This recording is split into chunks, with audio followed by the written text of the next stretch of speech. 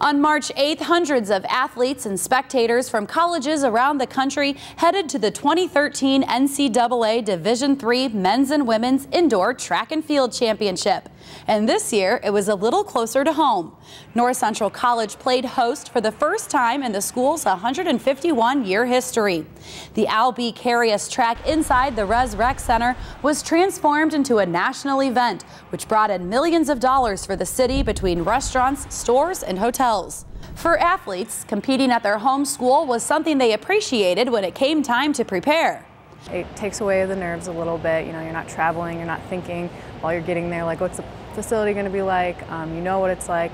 And the fact that there's going to be so many people here to cheer, you know, myself and the other competitors from this college is going to be fantastic. North Central was recently announced as the host school for the Indoor Championship again in 2017.